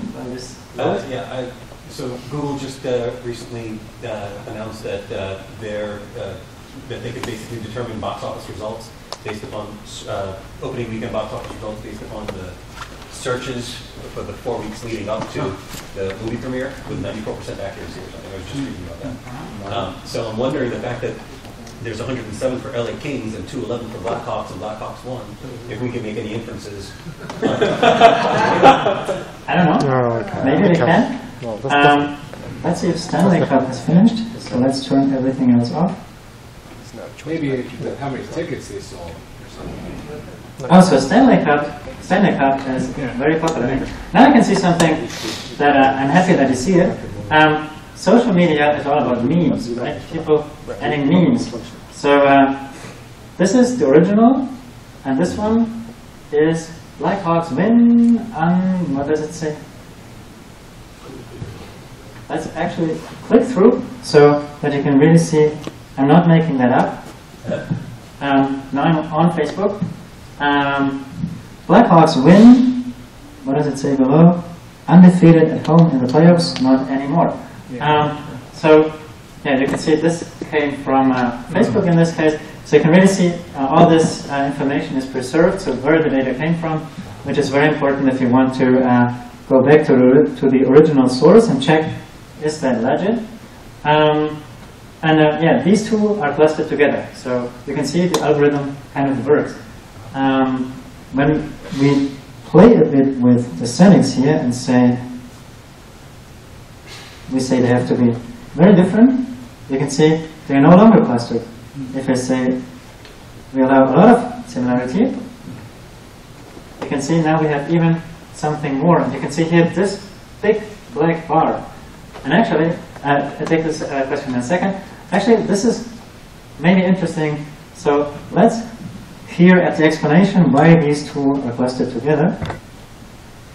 So you can see when I mouse over, you can see the tiled um, version of it. But if I right click here and right click there, and let me take the mic, hopefully, I'm tempting the demo boards. The two media items are near duplicates. Well, that's, But it is loading, so uh, speech generation is very slow. Sometimes it doesn't finish. But what, what he's trying to say now is, um, with, uh, take the mic back. Um, with, with those highlighted tiles, now he's saying um, the blah blah tiles are very similar, and now afterwards he will uh, highlight the ones that are different that you can see below. And you can already see the, the uh, uh, aspect ratio of the images is different, and also the, the size of the images is kind of different. Um, yeah, probably the server crashed for some reason. So this is sorry. It popped an error code up while you were talking. Oh, okay. So it's it's still uh, a little bit uh, shaky, but we've heard it uh, talk. Um, so it actually does talk and does explain, and you can see visually highlighted also what is going on. Um, so let's close this one and uh, turn back on everything else. And uh, now you can see dynamically things have a way too aggressive clustering here. So it worked well for that morning sample, but uh, let's go back to something reasonable. 15, and uh, then we can say uh, 14, whatever. Uh, then we can say maybe only half of the tiles need to be similar or even less.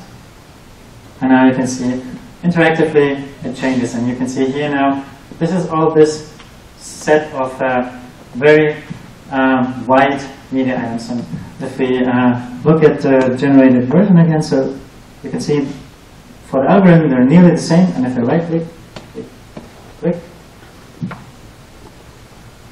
The two media items are near duplicates. you know, uh, I can see it, it highlights those.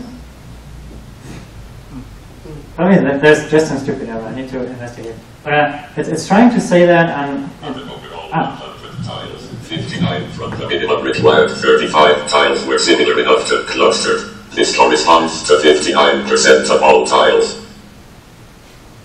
it takes a long time to load it's However, five tiles were not considered as they are either too bright or too dark, which is a common source of clustering issues.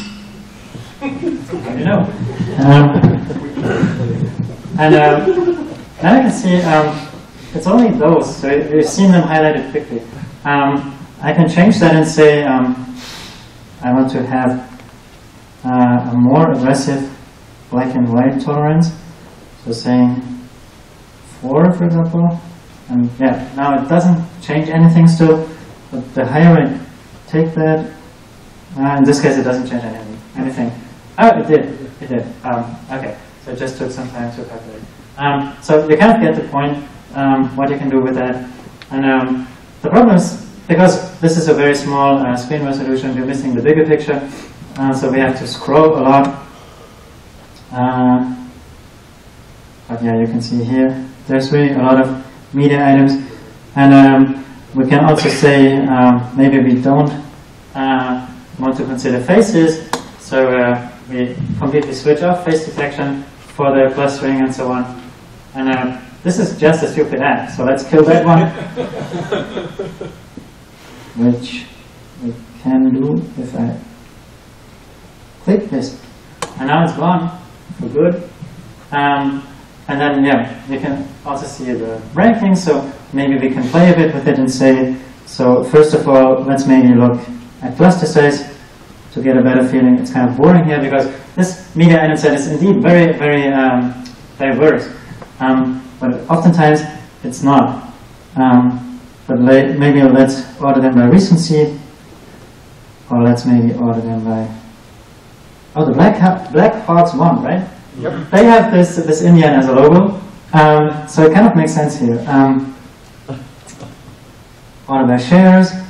So apparently this one was very was shared a lot, and um, we always have the data below here. Uh, oh, so uh, this is probably okay. So probably all of those had shares now. So it's a kind of stupid example here. Um, but if you order by likes, so shares are very very seldom. So shares don't happen a lot. But if you oops, if you look at this, likes nine, which uh, I think I'm. Let's see where we are. Yeah, so only nine likes. But uh, again, we just gave it five hours, and this one is relatively young. And also, most of the media items on social networks don't get many social interactions, right? So most of us post stuff, but not every one of us is uh, Mark Zuckerberg who gets millions of replies or millions of uh, retweets if you're Justin Bieber. Um, so most of us have a small number of friends, and so nine likes is already not so bad. Um, so let's see, what else do we have? Uh, maybe views, the most viewed item. In this case, this Facebook thingy. Uh, so views again, it's, it's kind of hard to get views um, because it's if you remember, only three social networks support views. So on Facebook we don't have that, and probably it's uh, it's simply an unknown value for most of them. Um, so that's kind of the problem. If you want to live demo that, um, you don't really know what comes. So um, apologize, apologies for uh, the non-representativeness. Um, but if you do this, and uh, let's maybe remove this one. So now you have something relatively beautiful. And uh, now what is missing is we want to actually see that media gallery. So it is, if we switch tabs here, and uh, now we get it. And um, this looks a little bit too wide, so we can limit its width. Uh, I think that's only 800 times 600 here, so the projector doesn't really play well with my laptop. Um, so we can limit that, and now I can see we only fit two images, so we can say we want the images smaller, maybe not that small, maybe this small. Um, and then you can see already it kind of makes sense. This seems to be event related enough. And um, again, um, it's not about absolute total recall, it's about precision here. So what you want to see here is something that you know is something that is well represented. Um, if you were really to, uh, to use, um, what else did I write on my list? So Chicago Blackhawks completely uh, written, NHL Blackhawks, so kind of the combinations of search terms that you could come up with, and which you should do if you are really a journalist working on that. Um, you can see this is very powerful, but um, in the interest of time, um, I just showed you a couple of. Okay, so this is, um, if you remember, one big image, and then, yeah, scroll again, sorry. One big image, and then in this case, two small images, one big again, one big, two small. Um, so this is kind of this view that gives us focal points. Um, let's see. Yeah, and then finally down there we have four images. So don't get uh, don't get uh, confused by this one. This is like that on Instagram already. So this is this is one image.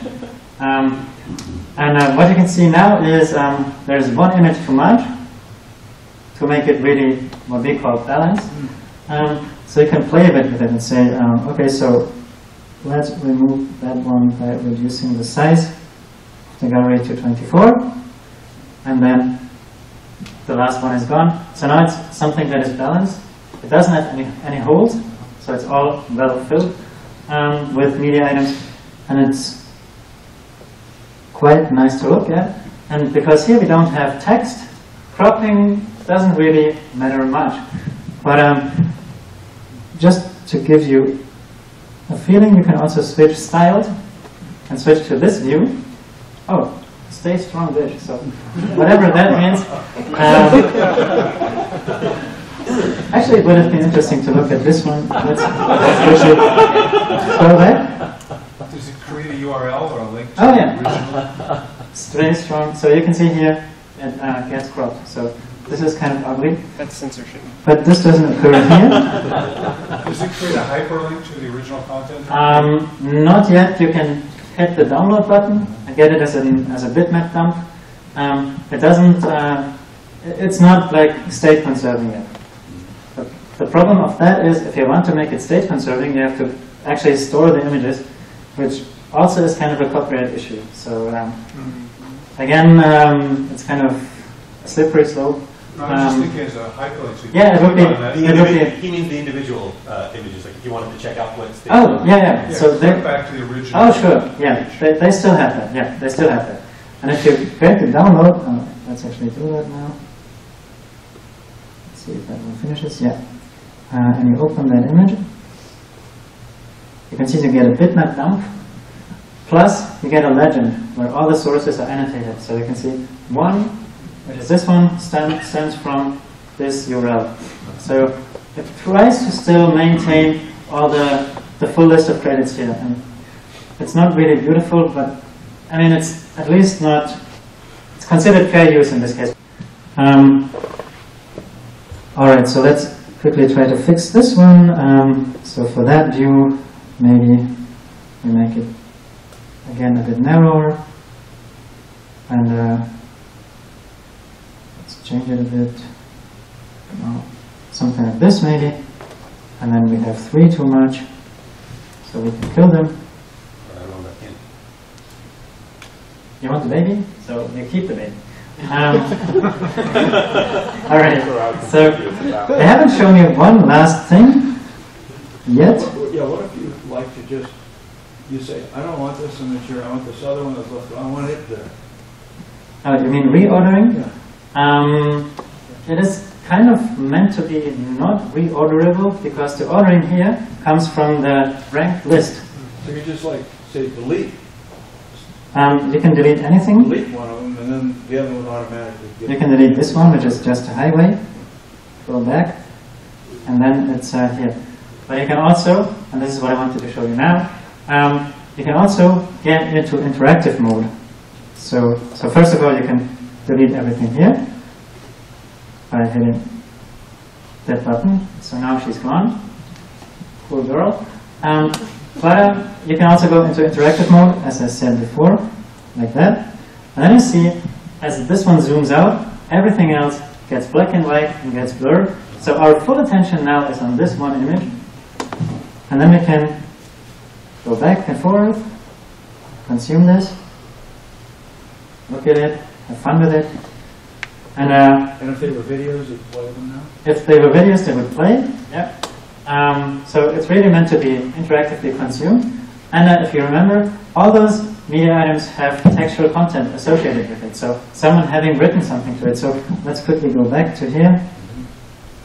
Uh, so here, someone has written, so don't get confused by the by the ugliness of the of the layout here. Blackhawks win three by one lead, Stanley Cup, and so on. Um, I have this robotic voice that can talk. So in an interactive mode, once I fix the speech uh, speed issue, it will really read back in an interactive robotic voice um, what this person was saying. So it's kind of really funny to uh, to then browse it.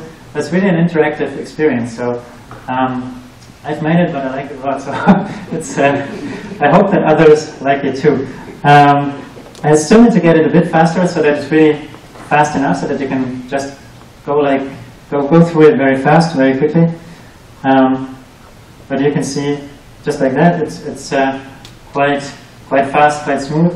Um, it uses uh, all CSS three transitions and so on, translations and whatever, uh, transformation, sorry, um, some uh, WebKit filters um, that add all this, like, um, yeah, beauty on top.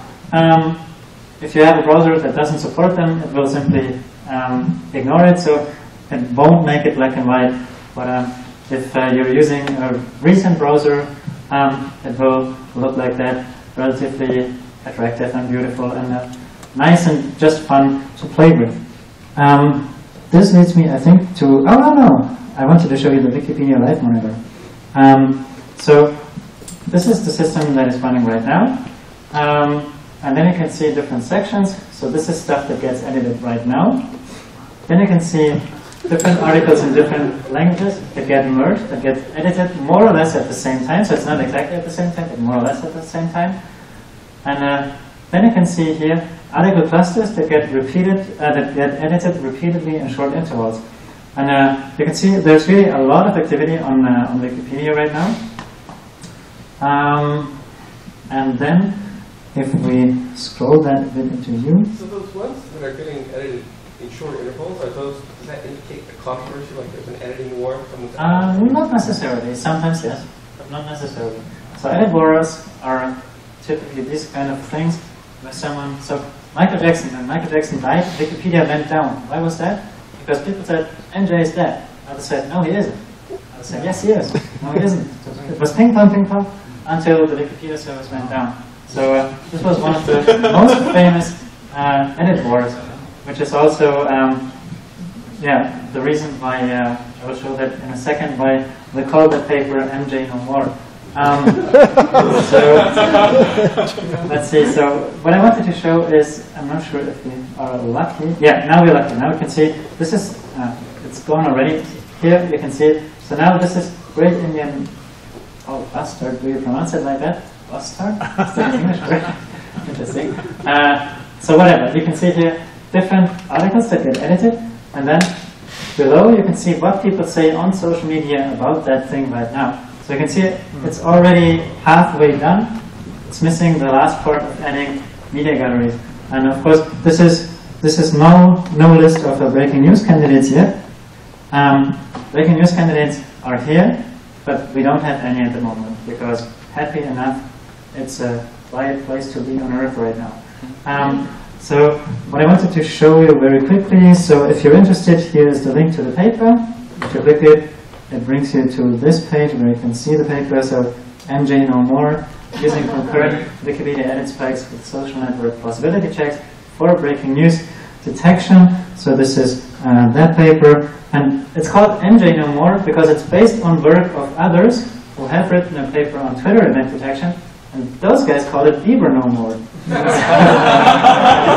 we, give, we give full credit here to, uh, to the original source. And uh, if you find that fascinating, if you find that interesting, um, there is a Twitter bot that tweets whenever um, a breaking news event happens. Or there's also, if you prefer email alerts, you can click through to here, uh, here, and you will be brought to a Google page, a Google Groups page, where you can add yourself and uh, you can see here, this was the last one. Let's open it quickly to see what it was about. Uh, oh. No, we're, we're done. Um, so, Tiburones Rojos de Veracruz. I'm not sure what that is, but it was uh, something that was important enough to be edited.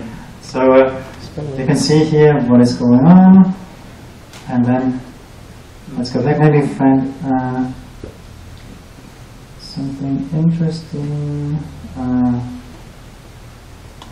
we can search. We can say uh, Turkey. Uh, this one. Um, yeah, so you can see here breaking news candidate protests in Turkey all the different languages that this was edited in, all the actual edits that people made, and then what people said on social networks. And you can see here already, Occupy Taksim, Diren Gezi Party or whatever you pronounce it, So you can see this concept of using uh, Wikipedia for getting the languages, it can have a huge potential. And um, yeah, I think this is time to go back to the last slide. Um, thank you very much for your attention. Thanks for listening. I hope it was fun and entertaining and also that you have learned something. Thank you.